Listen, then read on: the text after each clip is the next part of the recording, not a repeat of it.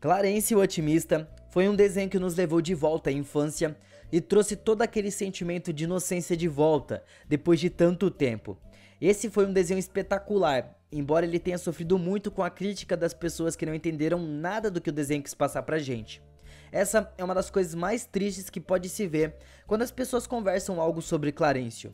Tem muito julgamento em cima que eu acho muito desnecessário.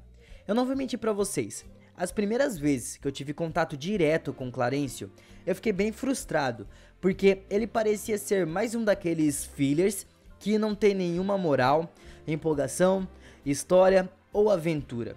E na minha opinião, essas quatro coisas são muito importantes na criação de algum desenho, porque isso é o que prende a nossa atenção. Em Clarencio não tem uma história pesada em cima, que te faz querer assistir o próximo episódio para saber o que vai acontecer. Mas tem muitos outros elementos no desenho que te faz sentir uma certa paz. E isso é o que faz você voltar para assistir mais episódios. Aqui no Brasil, o desenho foi finalizado no dia 24 de junho de 2018. E o último episódio se chama Qualquer Lugar Menos Sumô. Esse episódio foi muito bom e dá aquela sensação de paz que eu tanto gosto e eu falei no comecinho. Nesse episódio, o Sumo já mudou de escola, então o Clarencio já estava estranhando, porque eles sempre estudaram juntos e faziam as coisas juntos. Mas mesmo assim, eles continuam se encontrando depois da escola para fazer alguma coisa diferente que eles sempre fazem. E algo bem legal é que o cabelo do Sumo tá grande de novo. E quando eles se encontram depois da escola, eles acabam encontrando um sofá bem velho que se você reparar, tem um rato ali. Provavelmente os ratinhos usavam o sofá como casa e o Clarence e o Sumo acabaram tomando a casa dos ratos e deram o nome de Claremolândia. Como o Jeff não quis ficar para ajudar eles porque tinha muita sujeira e bactéria e o Jeff não gosta muito disso, os dois começaram a preparar o terreno para Claremolândia. Eles viraram o sofá, juntaram várias coisas velhas que tinha jogadas por perto e montaram um lugar novo para eles brincarem. Por coincidência, no dia seguinte era o aniversário de corte do cabelo dos dois. No outro dia da escola, o Clarencio fez um cartaz para promover o aniversário do corte de cabelo e correu no salão da mãe dele, pegou a maquininha de cortar o cabelo no meio do ato, enquanto ela estava cortando o cabelo e foi para Claremolândia. Só que ao chegar lá, o Sumo já estava com alguns amigos da outra escola e esses amigos novos dele estavam cortando o cabelo dele. Então Clarencio fez aquela cara de surpresa e traição ao mesmo tempo. Com isso, Clarence ficou meio bolado, porque ele sentiu que estava sendo trocado, sendo traído. O Sumo era o melhor amigo dele, e ver ele fazendo outras amizades foi bem difícil para o Clarencio. E depois disso, ele ficou só observando o Sumo de longe, vendo se realmente o Sumo tinha feito novos amigos e deixado ele de lado. O Clarencio teve a brilhante ideia de cortar o cabelo desse menino aí, que eu sempre esqueço o nome, se não me engano é Jimmy, alguma coisa assim, para ele ficar parecido com o Clarencio e ficar perto do Sumo. Só que usando um walk-talk para poder conversar com o Sumo, porque eles estavam cada um em uma escola e bem longe uma escola da outra. Então eles usaram esse walk-talk aí, no caso o Clarencio. Ele fez até uma pegadinha. O Clarencio colocou uma galinha debaixo da mesa do professor para ele se assustar quando chegar perto para dar aula, porque a galinha ia comer ele, ia ficar super fortuna, pelo menos esse era o plano do Clarencio. Só que não deu certo, porque o professor achou a galinha uma gracinha e declarou o Sumo e o carinha lá, o Jimmy, melhores amigos. Meu Deus, o, o Clarence ficou louco com isso, porque era para ser uma brincadeira ali, era pro professor se assustar e dar tudo certo, todo mundo começa a dar risada. Só que o plano dele foi por água abaixo.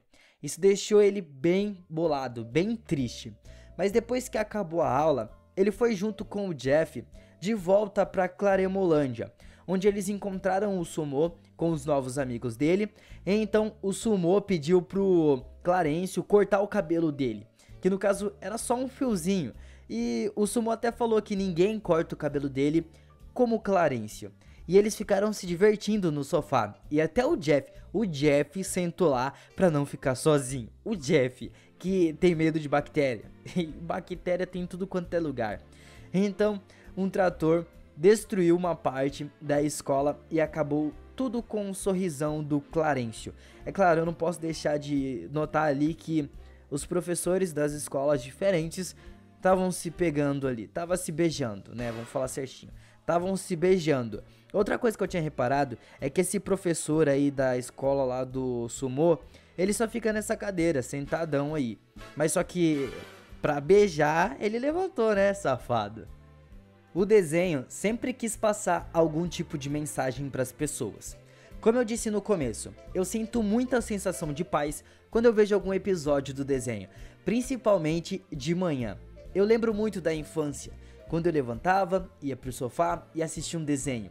Hoje em dia, se eu fizer isso com o Clarence de manhã, colocar ali um episódio de Clarence, eu sinto a mesma sensação que eu sentia há anos, há muitos anos atrás, quando eu ainda era um pirralhinho. Bom, um episódio além desse último que fez eu parar para analisar bem a situação é o episódio Amiguinho. Nossa, ele é muito diferente, porque tem alguns momentos onde o Clarencio se transforma em outra pessoa, porque ele achou que tinha perdido o seu amiguinho depois que enterrou ele na floresta. Depois daquilo, o Clarencio ficou bem triste, tipo, muito triste mesmo. Raspou a cabeça e ficou extremamente dark. Eu percebi o quanto as crianças levam as coisas a sério. Coisas bem fúteis pra gente, mas que pra eles tem um grande peso. Tudo que o Clarencio queria era ter os minutinhos que ele perdeu do intervalo porque ele ficou de castigo e não podia falar nada. Então, depois daquilo, ele ficou muito. Nossa senhora, quem é esse moleque? Depois disso, acabou dando tudo bem. Claro, eu não posso deixar de falar que isso também lembra muito da doença depressão. Se vocês olharem ali, ele ficou sem falar com ninguém, se afastou, teve problemas de comportamento, mudou muito a sua aparência, só ficava em casa. É, isso é o que acontece na depressão. Então, o desenho quis passar isso pra gente também, meio que de uma forma diferente, com tudo se resolvendo no final. Como eu disse no começo, Clarencio é um desenho que nos faz lembrar da infância, de como era bom ficar até tarde brincando na rua, que hoje é muito difícil ver isso acontecendo, e quando tem, é muitas crianças falando muito palavrão. Eu não tô brincando, aqui na frente de casa, meu Deus do céu, eu fico doido. Mas enfim, tem as paixões esquisitas que eu lembro que eu tenho. É, eu era apaixonado por uma menina aí quando era mais novo e nossa senhora. Enfim, dá susto nos amigos e de como era legal descobrir coisas novas. Era um espetacular isso. Aprender coisas novas sempre foi muito bom. Esse desenho mostra tudo isso. A cada dia ele vive uma aventura diferente, sem contar os temas que os episódios abordam. Como por exemplo, o Clarence morar com a mãe e com o padrasto. A mãe dele namora com o Xadão. E o desenho aborda a boa relação que ele tem com seu padrasto. Enfim, eu me identifiquei muito com isso, porque boa parte da minha vida eu morei com o padrasto. Então deu para me identificar muito com essa parte do desenho. Sabe, eles se dão muito bem. Comigo não era desse jeito, não me dava muito bem. Bom, tem outros temas também que são bem importantes. Como por exemplo, o Jeff ter duas mães. Isso no desenho é normal, só que na vida real já é um assunto mais complicado de se tratar. Eu sei que tem muitas pessoas que chamam o Clarencio de demente, mas é que eles não conseguem ver que ele é uma criança muito otimista. Tudo que o Clarencio vê é com uma inocência enorme.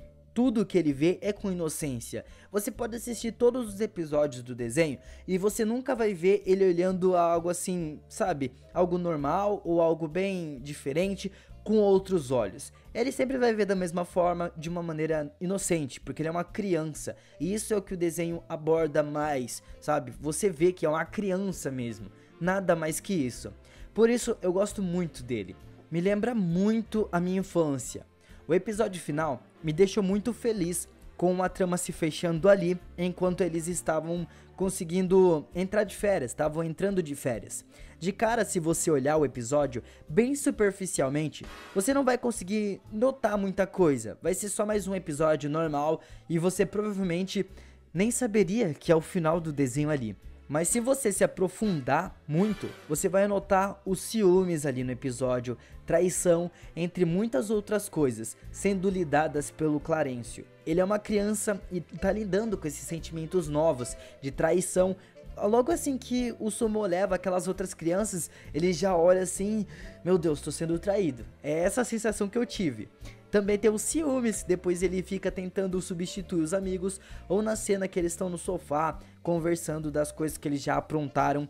O, o Clarence está tentando falar as coisas que ele já fez com o Sumo, só que ele não consegue expressar sua opinião, expressar o que ele estava sentindo, porque as outras crianças também estavam falando, e ele ficou com muitos ciúmes, já que ele falou que ele achou que ele era o amigo especial do Sumo, só que agora tem outros. É, esse show foi maravilhoso e eu tinha que expressar a minha opinião sobre ele. Eu tinha que conversar com vocês. O que vocês acharam desse desenho, desse final? Deixe aqui nos comentários. E aqui eu deixei os meus últimos dois vídeos para vocês continuarem assistindo coisas sobre desenhos. Então, eu fui!